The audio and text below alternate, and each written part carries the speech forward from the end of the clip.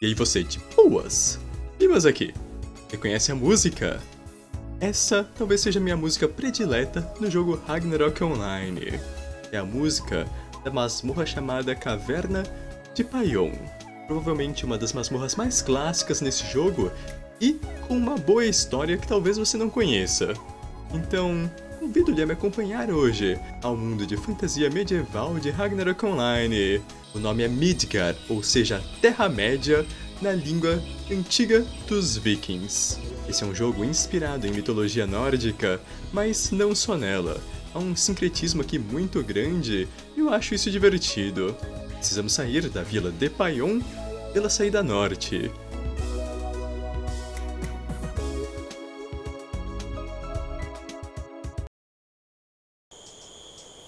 O que, que é isso? Não! Sponsor Eagle! Esse é meu primeiro e talvez único vídeo patrocinado pela Level Up Games, mais conhecida nas tavernas de Midgard, como Lug, empresa responsável pela publicidade do Ragnarok Online no Brasil. Oh, uma planta vermelha? Eu não tenho certeza ainda sobre como bem o Red Link enfrentará um zumbi. Mas uma planta ele consegue cortar. Vamos aí fazer nosso império das ervas vermelhas. O porém já sei que eu não vou atacar, porque ó, ele tá com o nome vermelho. Isso indica que a distância entre o meu nível e o nível dele é muito grande. Quanto aos zumbis, aí já não sei. Ah, o nome é mais rosinha assim. Ele talvez esteja alguns níveis acima do meu personagem, só que deve dar pra enfrentar. Vamos experimentar isso aí. Opa, 3, 4 porradas. Sobre a XP, eu tô com 76% agora de XP de base. Quanto de classe? Nem sei. Vamos ver base, né? Que é o mais importante nesse momento. 79? 3% cada zumbi? Pô, dá pra upar aqui solo, hein? Zumbi feroz. Hum, um monstro campeão. Vamos atrair só ele, senão vai dar ruim. O cox, cox, cox. O cox. É assim que eu atraio os zumbis, tá? Eu aprendi isso assistindo The Walking Undead.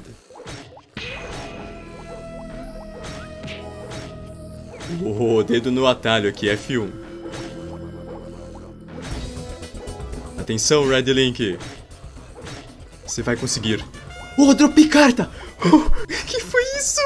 Poxa, eu achei que seria uma carta diferente. Foi só carta zumbi. Mas ainda assim, uma carta interessante. Tem uma arte muito bonita.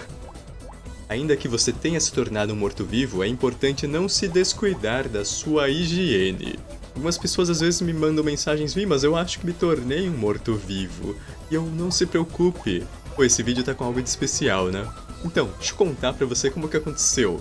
Eu tava lá, postei dois vídeos aqui no Brasil Ragnarok Online, BRO, como é conhecido nas tavernas de Rune Midgard, e aí a Emily, que trabalha na Level Up Games, eu nunca tinha conversado com ela, enviou um e-mail dizendo, e aí, Vimas? E eu, hum... Sabe quando você já tá fazendo a coisa e a pessoa quer pagar pra você continuar fazendo a coisa, então? e aí, Vimas, o que você acha de receber pra beber água? Hum? Parece uma proposta interessante. Tenho que tirar esse adesivo do requeijão. Problemas familiares. Pô, como familiar é chato, né? Como pode? Tio serve para duas coisas: para introduzir você à piada do pavê e para magicamente arrancar o próprio dedo.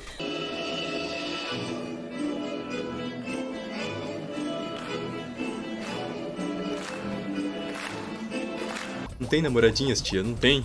Tô jogando aqui Ragnarok Online. Você acha que jogador de Ragnarok Online hardcore tem namorada? Eu não gosto de garotas 3D. O que, a Emily queria que contasse para você sobre o evento de aniversário da empresa, que vai do dia 26 ao dia 29 de junho de 2020. 16 aninhos, é uma menina quase madura já. Enquanto isso, eu aqui com meus 20, quase 30, tô indo à festa do Jorge. Para comemorar esse aniversário, o da Lug, não do Jorge. É claro. Ops! Ragnarok Online Points, o dinheiro virtual obtido por meio de investimento de dinheiro real. No período entre os dias 26 e 29 de junho de 2020, a Level Up Games bonificará o seu investimento, com bônus de 30% chegando a 50%. Então imagine, se você comprar tipo 300 reais em Hops, você vai ganhar mais 50% como bônus. É tipo ter investido 500 reais. É, na verdade é 450. Em Hops quando você só investiu só 300. Você vai comprar Prontera, cara. Você vai comprar Prontera inteira. Para que você não clique em links errados e perca essa promoção, eu mesmo pus na descrição desse vídeo o link que a Lug me deu. Olha só, tem up, pausa SP nele. Não tem comissão nem nada se você clicar no link, só um link diferente que eu curti. São links bonitos, como o nosso Red Link. Muito obrigado, fim do jabá. Ô oh, bicho, me deixe terminar de falar. Zumbis às vezes são tão mal educados. Ó, oh, você pode ser um morto-vivo, mas não seja mal educado. Seja um lich. Um lich é muito mais interessante de você se tornar do que um zumbi. Porque um lich, ele tem poderes mágicos, consciência e até alma ainda. Eles guardam sua alma numa pedrinha, geralmente, se chama filactério. Ajeitar aqui minha manga gamer. Eu não morri, tá? Eu só voltei pro meu ponto de retorno e tô sem pontos de vida. Será que meu SP dá pra curar isso aí?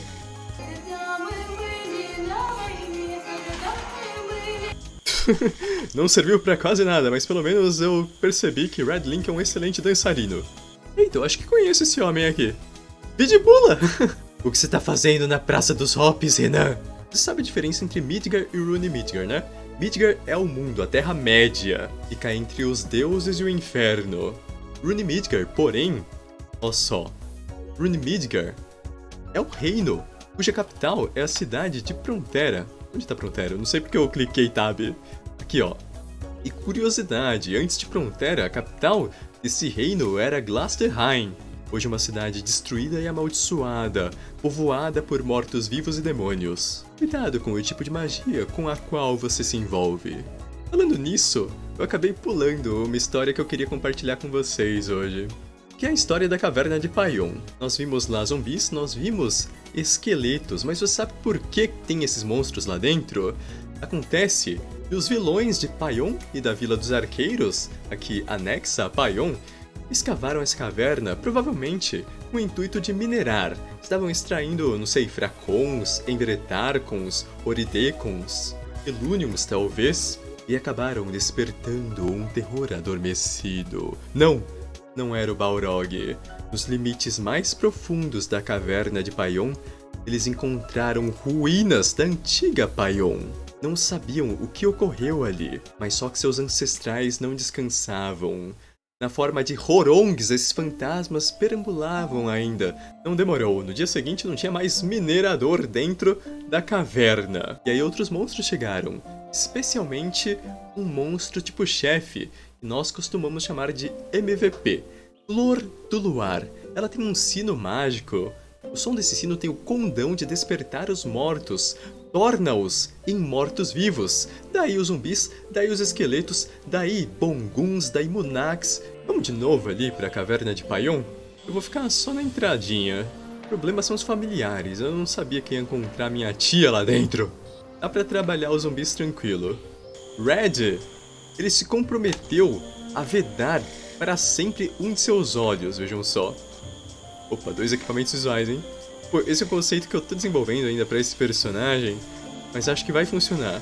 Sei que tem esse lacinho meio, estranho aqui, mas eu adorei a rosa azul e também o próprio fato de selar um dos seus olhos, como o próprio Odin, que é o deus maior aqui na religião pregada em Prontera, o Odinismo.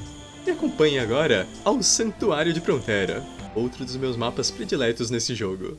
Não é um mapa pra UP, mas é um mapa onde eu gosto de me sentar e simplesmente imaginar meu personagem rezando mesmo, ou sei lá, encontrar meus amigos. É tipo um encontro na igreja, sabe?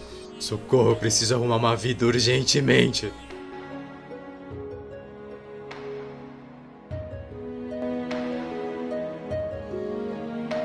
Ah, antes da viagem aqui por teleporte da Corporação Cafra, deixa eu alimentar o Jill Sei que ele tem caminhado bastante, isso é cansativo para as perninhas dele. São tão curtinhas.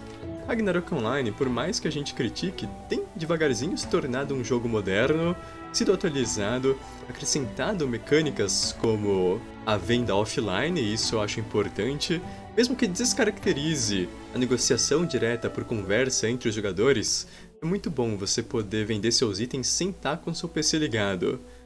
Vou sentar aqui. Uma posição que. Uma posição que o personagem não fique muito. muito bugado com o cenário.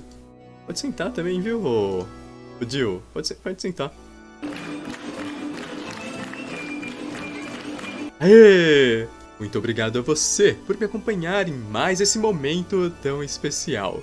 Nos vemos no próximo vídeo, eu espero, e como sempre, continue upando, porque eu, eu vou continuar. Pô, tô com tantos planos pra vídeo com esse personagem que eu tenho até medo de jogar com ele e passar do nível de alguma missão que eu queira fazer, de algum conteúdo aí.